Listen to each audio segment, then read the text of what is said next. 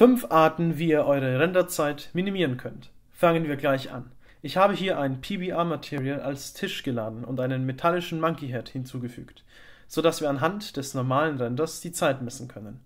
Zusätzlich ist noch ein HDRI geladen. Erster Tipp. Erniedrigt die Sample-Rate und macht dafür die Noising an. Eigenes Video findet ihr hier. Somit kann man hier 28 Sekunden sparen. Das sind 39% schneller. Zweiter Tipp. Um das Rendern effizienter zu gestalten, verändert die Größe der Tiles. Kleinere Tiles sind bei mir zum Beispiel schneller gewesen. Hier spart man mit 32 Samples und ohne die Noiser ca. 5 Sekunden. Bei einer Animation mit 100 Bildern wären das schon immerhin etwas mehr als 8 Minuten. Wow! Dritter Tipp. Verringert die Light Bounces. Da Cycles eine Path Tracing Render Engine ist, kann man einstellen, wie viele Male das Licht im Bild herumgebounced wird.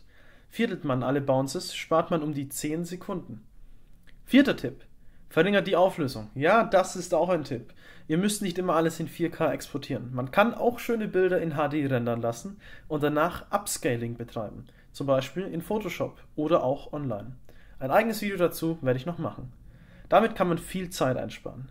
Bei Reduzierung von 1920p zu 1080p habe ich ganze 51 Sekunden rausholen können, was 3,2 mal so schnell ist. Fünfter Tipp: Aktiviert GPU-Rendering.